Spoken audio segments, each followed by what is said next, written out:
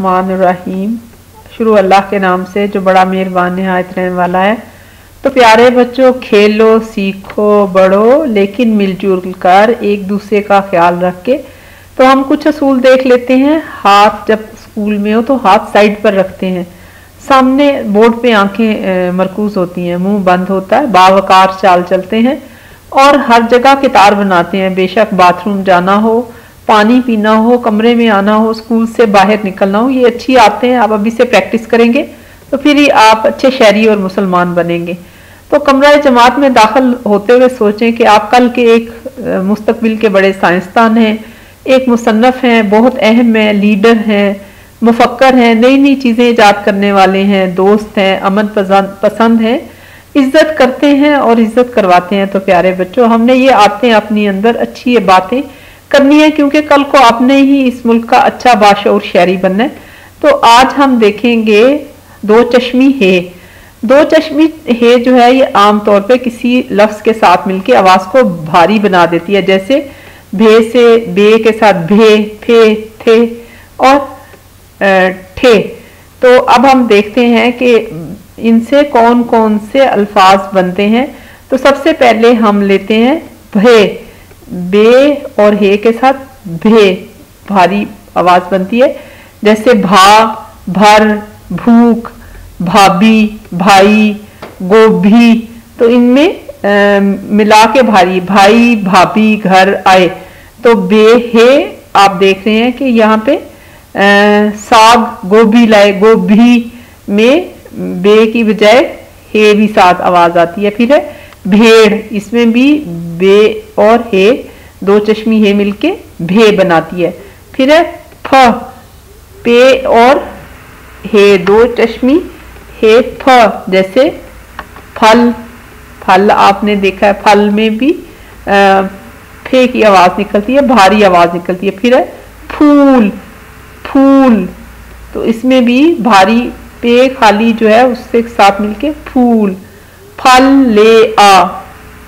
फल ले आ, बच्चा, फल लेके आ रहा है। शाख से फूल मत तोड़।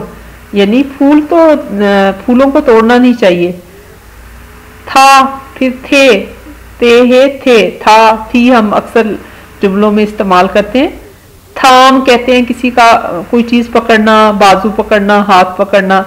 बूढ़े लोगों का हाथ थाम के उन्हें सड़क पार कराई जाती है। थाली थाली में खाना डाल के खाते हैं। फिर साथ दो लोग इकट्ठे चल रहे हो, जैसे ये दो ऊँट वाले हैं। साथ एक दूसरे को, के साथ चलना। फिर साथी में थे इस्तेमाल होता है।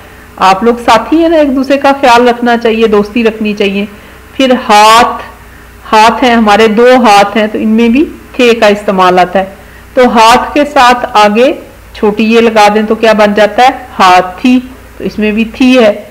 फिर आपने देखा कि ये भारी आवाज़ है। भाई के साथ जाओ। अब यहाँ भाई भे, भे भी है और थे भी है। फिर साफ़ थाली ले आओ। थाली ठीक है? तो अब हम देखते हैं ठे टे है ठे ठे से क्या चीज़ें बनती हैं? आपने देखा होगा ठेला। ठेला ट्रॉली जिसमें चीज़ें भर के खींचते हैं, आसान हो जाता है, नीचे पहिए लगे होते हैं। फिर ठाठ, शानो शौकत, किसी का बहुत बड़ा घर हो, शानदार। तो हम कहते हैं, क्या ठाठ बाट वाला घर है? फिर है, आठ आठ गिनती में, आठ नंबर, आठ। इसमें भी ठे की आवाज़ आती है आखिर में। फिर है लाट लाट के साथ छोटी ये लगा दें तो लाठी, अक्सर लोग जब बूढ़े हो जाते हैं तो वो लाठी का सहारा लेके चलते हैं। बाबा जी की लाठी क्योंकि उन्हें चलने फिरने में मुश्किल होती है। तो ये इसको इन हरूफ को इस तरह से आप प्रैक्टिस करें। पहले आधी शक्ल बे की बनाएँ और आगे फिर दो चश्मी हे बना दें। अब यहाँ पे कुछ आ, सीधे हाथ अल्फाज दिए हुए हैं। इनमें से देखें कौन सी भारी आवाज़ इनमें इस्तेमाल हुई है। इनको खुद से सोच के लिखें वीडियो यहाँ पे रोकें और फिर आप आगे इनके जवाब देखेंगे। इन डिब्बों को कलर करें। तो ये है थाली में थे इस्तेमाल हुआ है भाई में भे फल में फे और बैट में ठ इस्तेमाल हुआ है। अब ये कुछ तस्वीरें हैं। आप इनमें से देखें कौन सी भारी आवाज़ से ये शुरू हो रही हैं। यहाँ पे वीडियो रोकें, खुद से इस तस्वीर को सामने देख के लिखें और फिर इसका आगे जवाब आपको मिलेगा। जैसे, फ, फूल, भेड़ और फल में भी पे है, फे।